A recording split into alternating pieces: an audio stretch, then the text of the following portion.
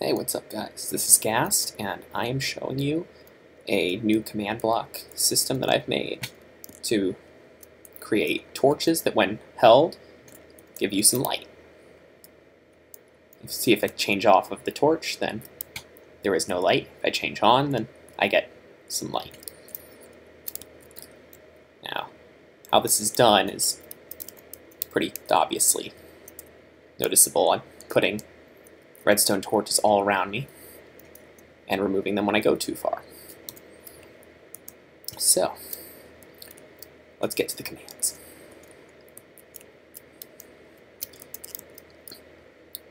Start things off, I have a redstone clock here. Let me go ahead and use some night vision. Using a fill clock, which is just allowing there to be a giant line here of redstone. And that's powering all of these. This, this command block right here is executing at anyone with a torch score of 1, which I will get to later, to fill the block that is in their space, and just that block, with a redstone torch replacing air. So right here, the second half of me where the legs are. And these five blocks, whoops, or yeah, these six blocks actually, I'm sorry. And these six blocks are all filling various coordinates around me in a pattern like this that remove redstone torches and replace them with air. I'll put all those in the description. And then these two up here are using a scoreboard system called Kill Torch. And it's setting any kind of item that is that has an ID of redstone torch to 1.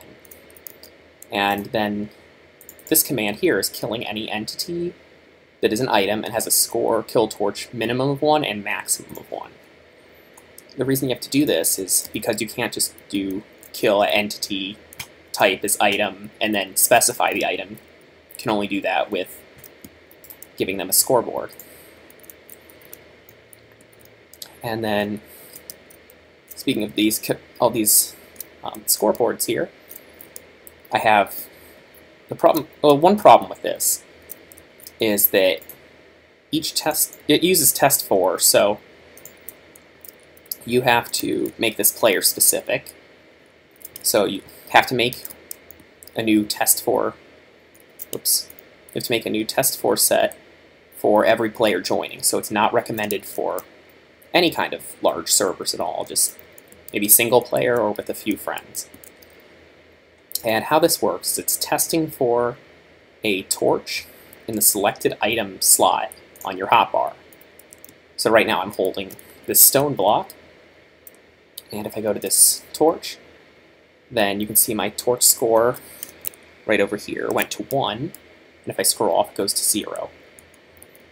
What's going on is when it is detecting that, it powers this command block, which sets my score of torch to 1. And that activates all those fill commands that were oh, over in the other room. And then when set to zero, I did see the redstone torch there. I'll fix that later. Then it executes more fill commands around me. And these two are just the same one, except one's for lit redstone torches, the other one is for unlit, because they are two different types of blocks. And this is setting my torch score to zero, so those other fill commands that are powering the torch system will not work. Let me really quickly here just fix this. So as soon as I'm on the torch, it works. And as soon as I'm off, it detects that I'm off, clears all of them in my immediate area, and any one of them that is out too far for those two fill blocks I just showed to clear, you should be clearing as you're walking away from them. I didn't want to use torches for the set blocks and fills because if you did, then you'd have to kill all entities that are torches, including ones that you would want to pass off to a friend, maybe. And this does work in any slot, which I really like. Just as a side note there.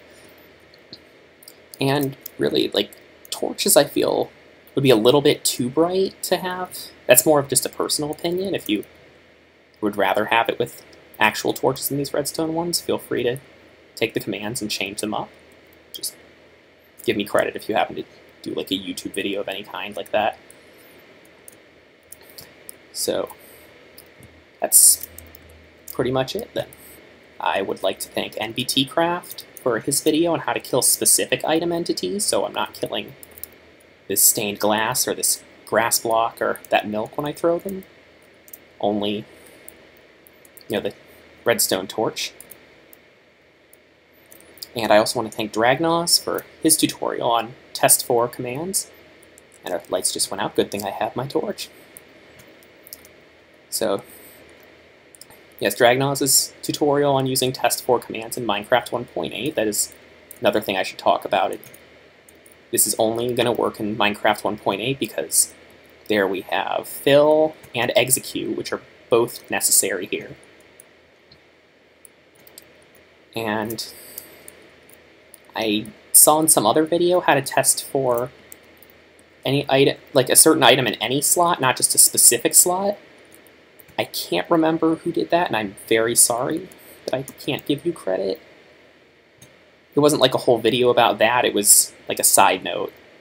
And then I kind of just went really quickly and was like, oh, I can use this for my torches.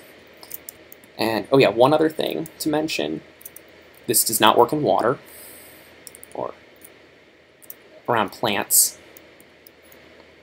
And the reason because the reason of that is because it's filling an air block and only an air block with these redstone torches, just so you don't destroy anything important to you.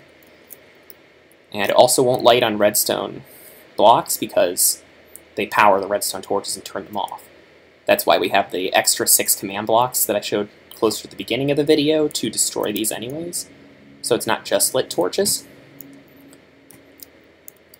Alright, well, thank you for watching, and leave a like, comment and if you enjoyed, and feel free to comment on other ideas I should work on. I really like doing stuff with command blocks, and I would love to try new things. Thanks, bye! Hey guys, it's Gast again. One last thing I forgot to mention is that you want to keep this redstone torch stuff away from redstone contraptions. I forgot to mention that in the main part of the video, but some of you might have noticed with the test for command that the redstone torch disappeared when I was using I had to replace it. And it will activate redstone contraptions on its own and can remove redstone torches that are too close to you. This doesn't happen if you know, you're not holding the torch. So just stay away from it while you're holding it. Alright, thanks for watching. Bye.